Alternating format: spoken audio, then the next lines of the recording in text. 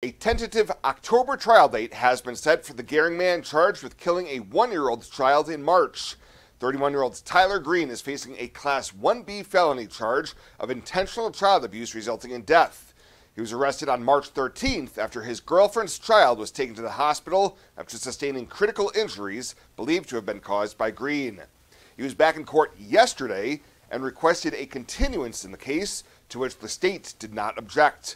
A September 25th pretrial conference was set, with the matter set to go to trial in the jury term that begins October 7th. Green has pleaded not guilty to the